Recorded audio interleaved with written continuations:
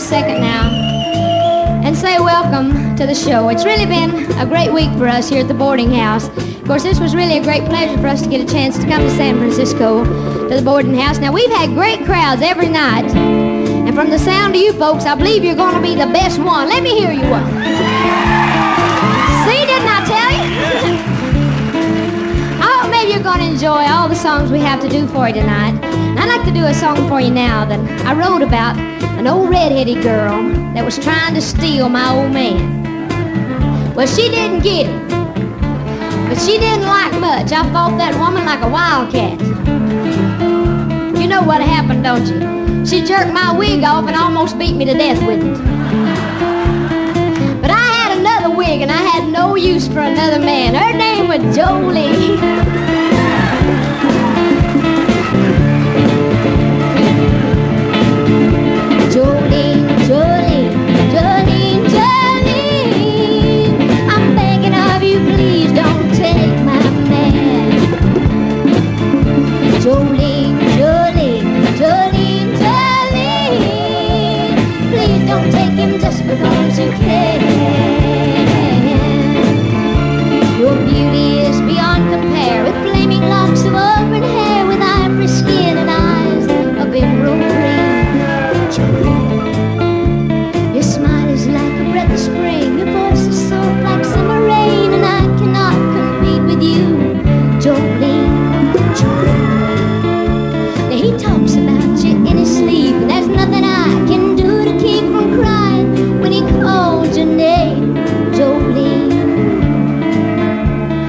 but I can easily understand how you could easily take my man, but you don't know what he means to me,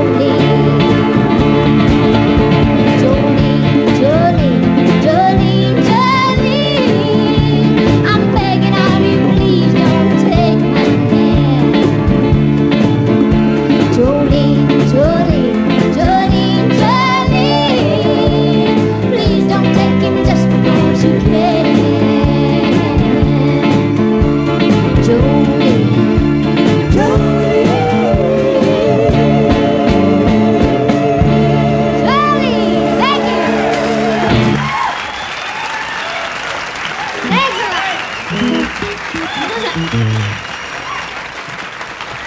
you.